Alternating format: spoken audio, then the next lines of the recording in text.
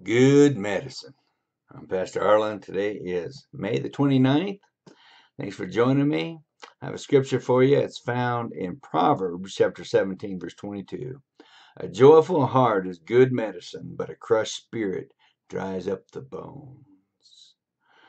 So, this scripture tells us that a joyful heart is good medicine. So, when you're joyful, it helps heal from the inside out. Um, but a crushed spirit dryeth the bones. In other words, if you're a crushed spirit, it works from the outside in to try to uh, bring illness, sickness, disease on you. And uh, it's never good to allow yourself to be crushed. Yeah, you get crushed spirit, you, but it, we got to rise up.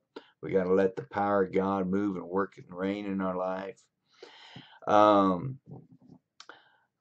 it's important every single day to have that mindset, to have a joyful heart, knowing that it's good medicine. It's medicine for your soul, it's medicine for your body, it's medicine for all your internal organs.